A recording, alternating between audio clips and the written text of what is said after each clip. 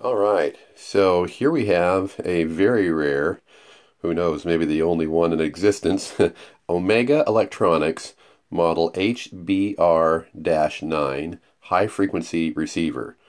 Uh, I have never seen one of these and uh, I don't think you have either. But anyway, now you have. There it is. Um, obviously, it uh, covers the 80 meter band as you can see here. Its uh, modes of operation are uh, AM uh, sideband. Uh, here's your uh, limiter on and off. You have your RF gain control, AF gain control, and power. And then here's your antenna tune, and then here's your tuner. Interesting tuner. You turn tune it, and, the indicator goes the opposite direction, which is kind of cool, I think. Uh, very neat uh, dial.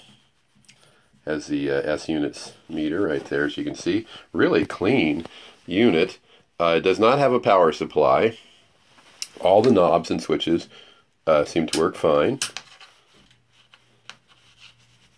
Let's see. Let's see. Well, they that one was going on and off yesterday. There we go.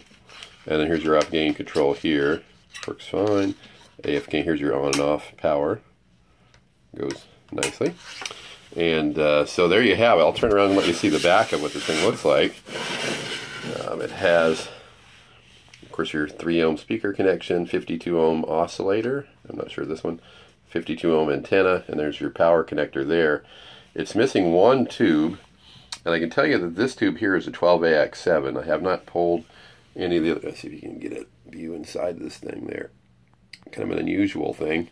And tucked inside of this unit, I will show you this, was this. This was in the back. Uh, uh, it was protected by this little cardboard thing, was this schematic. So I don't know if this is a schematic to this unit or not. Do not know. And then there's some other information on this side. This may be to a, a different radio, I'm not sure, but it was inside of this, tucked inside back here. So uh, there you have it. The Omega Electronics model HBR-9 receiver.